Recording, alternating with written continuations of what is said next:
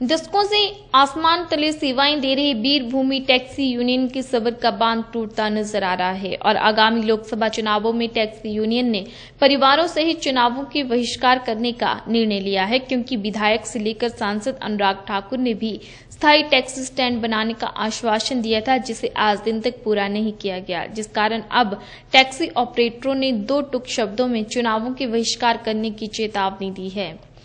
बता दें कि हमीरपुर बस अड्डे के पास पिछले कई सालों से टैक्सी ऑपरेटर आसमान तले टैक्सियाँ खड़ी करके दिन रात सेवाएँ दे रहे हैं।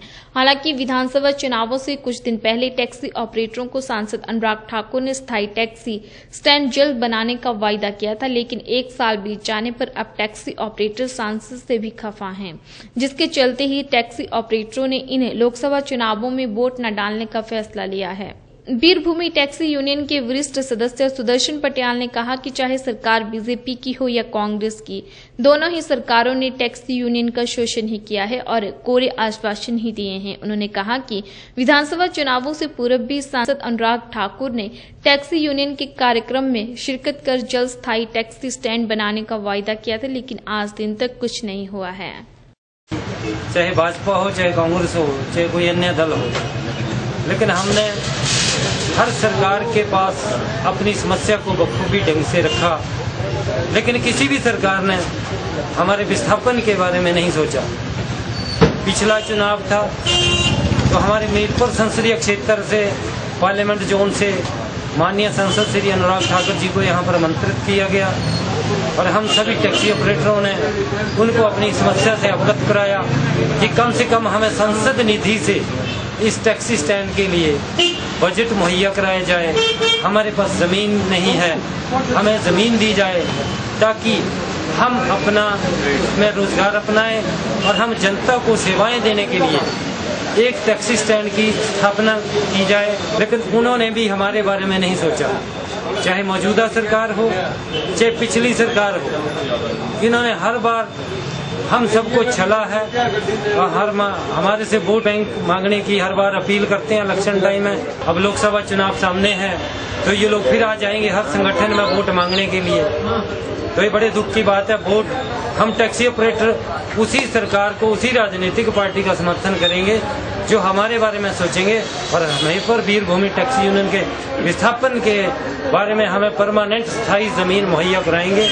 ताकि वहाँ से हम जनता को अच्छी सेवाएँ दे सकें। वहीं टैक्सी ऑपरेटरों ने दो टुक शब्दों में कहा कि टैक्सी ऑपरेटरों की हर बार मांग को अनसुना किया गया है और इस बार लोकसभा चुनावों में अपने परिवारों सहित टैक्सी ऑपरेटर चुनावों का बहिष्कार करेंगे। उन्होंने कहा कि जब चुनाव नज़दीक आते हैं तो नेताओं को टैक्सी ऑपरेटरों की याद आती है, लेकिन बाद में भूल जाते हैं। इसलिए इस बार टैक्सी ऑपरेटर भी नेताओं को सबक सिखाएँगे।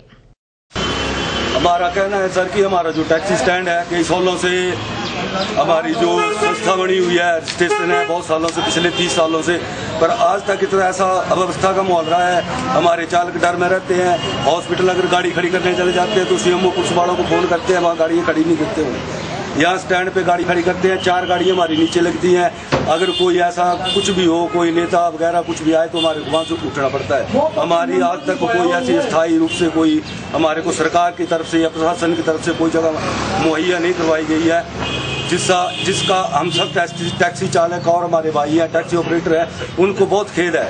जैसे कि पटाल जी ने कहा, जब सरकारें आती हैं तो हमारे को प्रलोभन देते हैं कि ऐसा कर देंगे हम ऐसा कर देंगे आपके लिए। जब सरकार बनी जाती है तो हमारी कोई पूछने के लिए नहीं आता है। और हर जगह टैक्सी चालकों को बुलाया जाता है।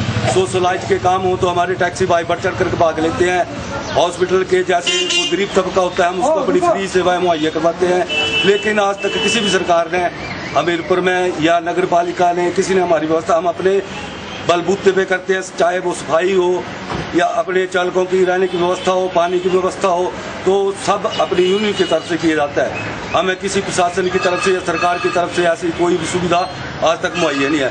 तो हम इस बार इलेक्शन का बहिष्कार करेंगे। कम से कम हम 300 परिवार हैं।